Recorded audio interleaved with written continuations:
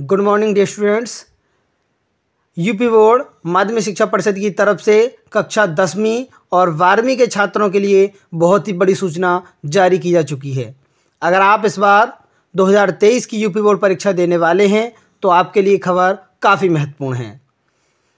अर्धवार्षिक परीक्षा में सम्मिलित सभी उम्मीदवारों के लिए बड़ी खबर निकल कर आ रही है, जिससे आप सुनकर बहुत चौंक जाएँगे। अगर आप सोच रहे हैं कि यह ऐसी खबर क्या है जिसके तहत विद्यार्थियों को परीक्षा देने से भी वंचित रहना पड़ सकता है तो अभ्यर्थियों के लिए बताया जाता है कि उत्तर प्रदेश माध्यमिक शिक्षा परिषद की तरफ़ से बड़ी जानकारी मिली है।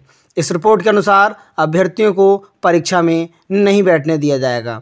यदि आप चैनल पर नए हो तो चैनल को सब्सक्राइब कर लो और बेल आइकन ज़रूर दबाइए, जिससे आने वाली सभी वीडियो का नोटिफिकेशन आपको मिलता रहे। तो छात्रों उत्तर प्रदेश माध्यमिक शिक्षा परिषद की तरफ़ से यूपी बोर्ड परीक्षा में सम्मिलित होने जा रहे उन तमाम अभ्यर्थियों के लिए बहुत बड़ी खबर है। बता दें, पंजीकरण का कार्य नवंबर माह में पूरा हो चुका है और इसी दौरान हाई स्कूल इंटरमीडिएट के लगभग अट्ठावन लाख से अधिक छात्रों ने पंजीकरण कराया है।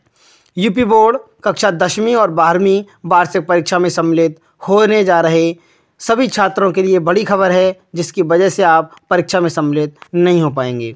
यूपी बोर्ड छात्रों के लिए अपडेट यहाँ पर, अगर आप पेपर में सम्मिलित होने जा रहे हैं तो सभी प्रमाण पत्रों का वेरिफिकेशन कराना आपके लिए आवश्यक होगा।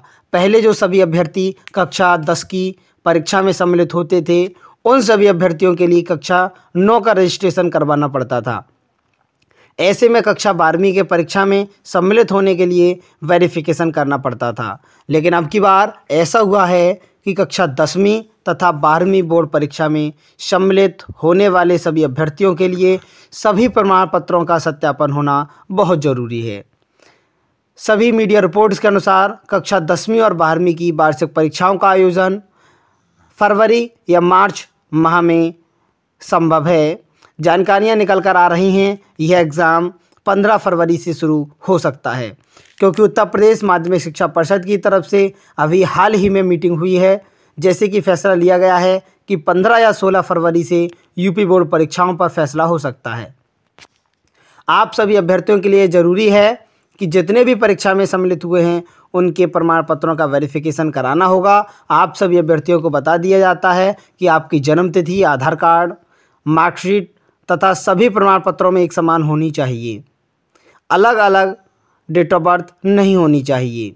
एक छोटी सी गलती आपके लिए परेशानी का कारण बन सकती है। आधार कार्ड प्रमाण पत्र जैसे जाति प्रमाण पत्र मूल निवास प्रमाण पत्र अंक प्रमाण पत्र सभी में जन्म तिथि एक जैसी होनी चाहिए। अन्यथा आपको परीक्षा देने से वंचित किया जा सकता है। इसी प्रकार की अन्य वीडियो के लिए हमारे चैनल को सब्सक्राइब करें।